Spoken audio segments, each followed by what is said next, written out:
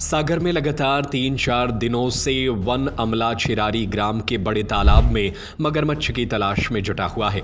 पूर्ण व्यस्क मगरमच्छ वन विभाग के बिछाए जाल में फंसकर पुनः तालाब में दो से तीन बार जा चुका है, जिसके बाद वन विभाग द्वारा तालाब के चारों तरफ़ मगरमच्छ होने और सावधान रहने की सूचना लिखवाई है। जो तैयार करते हैं आने वाली पीढ़ियों को, उन्हें हमारा सलाम देश के शिक्षकों के लिए खास ऑफ़र, चार हज़ार रूपए तक price benefit. Central hero Sagar और गाँव में भी मुनादी कराई है, लेकिन इन सब के बावजूद ग्रामीण लापरवाह बने हुए हैं और तालाब में फिर नहाने, मछली पकड़ने के लिए लोग पहुँचने लगे हैं। तालाब से सटे स्कूल के बच्चे भी किनारे पर टहलते देखे जा सकते हैं। अब मगरमच्छ का डर बचा ही नहीं है।